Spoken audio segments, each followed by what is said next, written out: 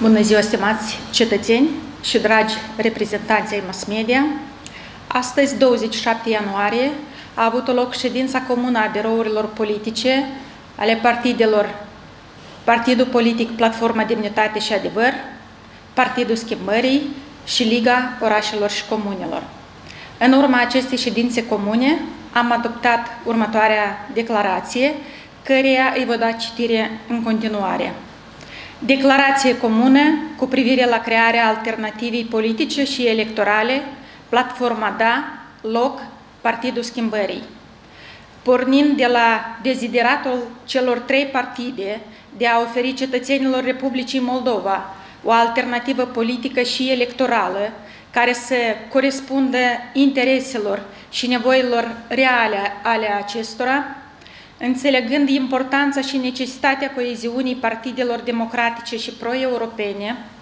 asumându-ne în mod conștient angajamentul ferm pentru direcția integrării europene a țării,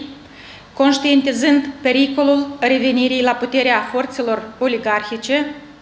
condamnând cu fermitate tentația guvernării de a răsfrânge drepturile și libertățile fundamentale ale cetățenilor, politizarea activității instituțiilor democratice, centralizarea excesivă a puterii, încălcarea principiilor prevăzute în Carta Europeană a Autonomiei Locale prin tentativă de supunere politică a autorităților publice locale. Înțelegând lipsa de eficiență a actualei guvernări de a oferi cetățenilor un nivel de viață decent, lipsa de rezultate în reforma justiției, absența oricărui progres în lupta cu corupția, confiscarea politică a procesului obiectiv de integrare europeană, tolerarea unor grupuri oligarhice în sânul guvernării, lipsa rezultatelor palpabile în actul guvernării, criza demografică,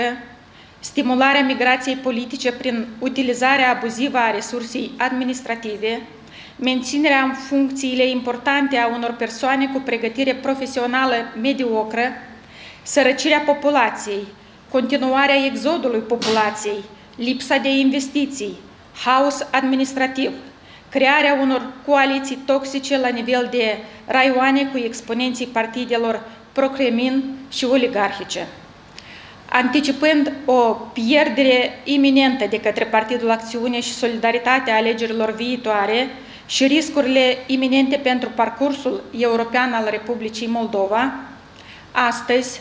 27 ianuarie, în urma ședinței birourilor politice comune, au decis următoarele. Crearea unui bloc politic în perspectiva alegerilor prezidențiale,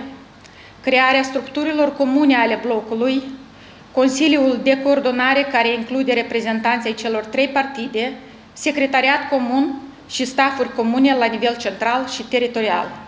Elaborarea unui demers politic și electoral nou în vederea participării în campaniile electorale din 2024 și 2025, elaborarea unui program politic și electoral comun și consultarea acestuia cu societatea, lansarea și organizarea unor consultări politice cu reprezentanții altor partide de orientare democratică și pro-europene, comunitatea de experți, reprezentanții societății civile, în vederea unei colaborări și cooperări politice. Identificarea unui candidat comun care va fi susținut la alegerile prezidențiale și nu în ultimul rând pregătirea de alegerile parlamentare. Vă mulțumesc! Mulțumesc.